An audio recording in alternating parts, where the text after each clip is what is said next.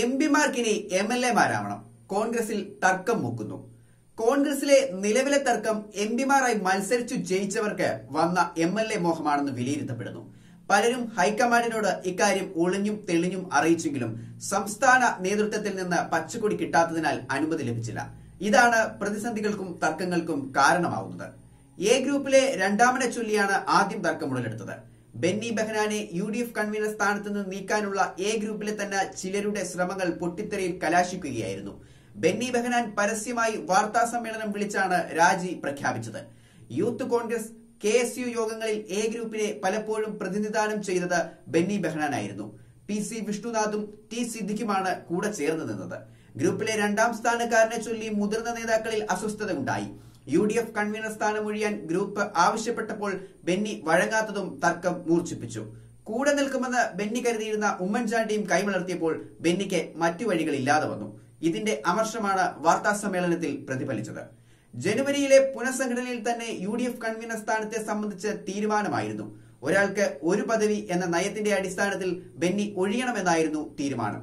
എന്നാൽ working പ്രസിഡന്റുമാരായി K സുധാകരനും കൊടിക്കുന്നിൽ സുരേഷും യൂത്ത് കോൺഗ്രസ് പ്രസിഡന്റായി ഷാഫി പറമ്പിലും തുടരുന്നത് ബെന്നി പക്ഷം ചൂണ്ടിക്കാട്ടി. തർക്കം മൂത്തപ്പോൾ കെ പി സി സി എക്സിക്യൂട്ടീവിലേക്ക് പോലും ബെന്നിയുടെ പേര് പരിഗണിക്കപ്പെട്ടില്ല. ഇതോടെ ഭിന്നത പൊട്ടിത്തെറിയായി. കെ മുരളീധരന്റെ രാജിപ്രഖ്യാപനം നേതൃത്വത്തെ ഞെട്ടിച്ചു. പ്രചാരണ സമിതി അധ്യക്ഷ സ്ഥാനത്ത് നിന്നാണ് രാജി. സമിതി യോഗം ചേരാതെ നിഷ്ക്രിയമായി കിടക്കുകയായിരുന്നു. പുനഃസംഘടനയോടുള്ള അതൃപ്തിയും മുരളീധരൻ രാജിക്ക് പിന്നിലുണ്ട്. സംസ്ഥാന രാഷ്ട്രീയത്തിലേക്ക് തിരിച്ചു വരാനുള്ള മുരളീധരന്റെ ശ്രമങ്ങളെ K P C C president Mullappally Ramachandran ചെറുക്കുന്നതും മുരളിയെ ചൊടിപ്പിച്ചു. സംസ്ഥാനത്ത് യു ഡി എഫ് ഭരണം വന്നേക്കും എന്ന തോന്നലിലാണ് എം പിമാർ കൂട്ടത്തോടെ സംസ്ഥാന രാഷ്ട്രീയത്തിലേക്ക് തിരിച്ചു വരണം എന്ന ആവശ്യം ഉന്നയിക്കുന്നത്. എം എൽ എ ആയി ജയിച്ചാൽ മന്ത്രിയാകാമെന്ന് കരുതുന്നവരും ഇക്കൂട്ടത്തിലുണ്ട്. എന്നാൽ എം പിമാർ ഡൽഹിയിൽ കാര്യങ്ങൾ നോക്കട്ടെ എന്ന നിലപാടാണ് സംസ്ഥാന നേതൃത്വം തീരുമാനിച്ചത്. ദേശീയ രാഷ്ട്രീയം കലങ്ങിമറിയുന്ന പശ്ചാത്തലത്തിൽ എം പിമാർ സംസ്ഥാന തെരഞ്ഞെടുപ്പിൽ മത്സരിക്കുന്നതോട് ഹൈക്കമാൻഡിന് അനുകൂല മനസ്സല്ല ഉള്ളത്. മാത്രമല്ല എം പി ആയും എം എൽ എ ആയും ഒരു കൂട്ടം ആളുകൾ മാത്രം മത്സരിക്കുന്നത് പാർട്ടിക്ക് തിരിച്ചടിയാകുമെന്ന പൊതുവികാരവുമുണ്ട്. കോൺഗ്രസിലെ തർക്കങ്ങളിൽ ഘടകകക്ഷികൾ പ്രത്യേകിച്ച് മുസ്ലിം ലീഗ് അസ്വസ്ഥരാണ്.